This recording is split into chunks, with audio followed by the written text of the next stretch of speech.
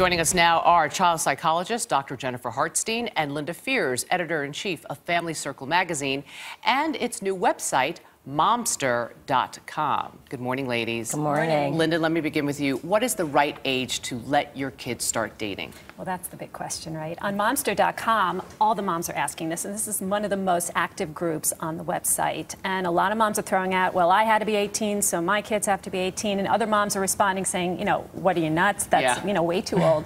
Maybe 16, 15. But the truth is, there isn't a right age. You really have to know your child.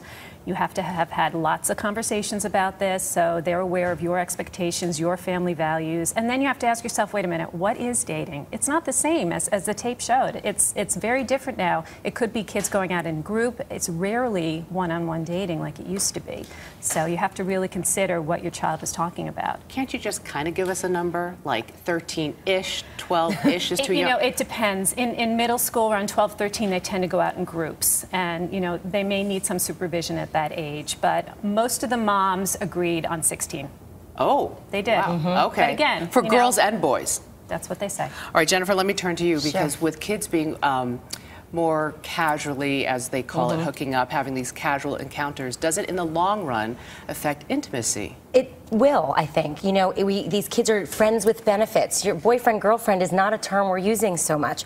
And as we were talking about earlier, we were talking like, well, what is hooking up? It's going to be different for all kids. For some, it's kissing. For some, it's a lot more. It could go into oral sex. It could go into all sorts of you know, striations on the, the curve. So we want to really know what's happening. We want to teach our kids that it's really not just about sex. It's really about relationships and caring for another person and building love between two people because we get so focused on the sex part that we forget that the relationship comes in behind it and our kids are missing some of that. They're missing what that really means to just build a relationship and maybe even wait to have sex and have intimacy as you get to you can be intimate without having sex by just getting to know the other person. Linda, let me turn back to you. Why is it that kids seem so casual about hooking up these days? Well, think about it. It's it's made to be casual to them because it is everywhere. It's on, you know, in movies, on TV, all over the internet, music lyrics.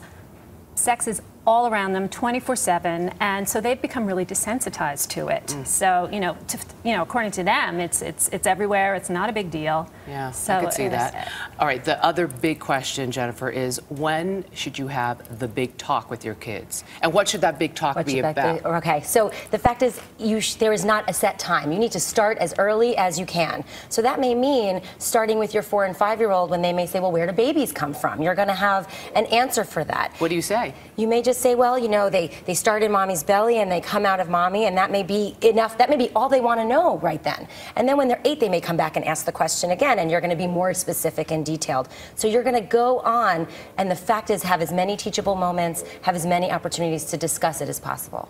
You should watch those movies together. You should listen to the music together. What together. movies? Give me a good title. Okay, here's an example. One writer. We're running for- out of time, but give me a good title. one writer for Family Circle said her 13-year-old asked to watch the movie Knocked Up, and her immediate reaction was no way. And then she thought, you know what? We're going to watch it together, And discuss And we're going to have conversations about what goes on in that movie, and it really worked out. Got to Linda talk about it. Fears, Jennifer, Dr. Jennifer Hartstein, thank you so much. A lot happens early on The Early Show, weekday mornings on CBS.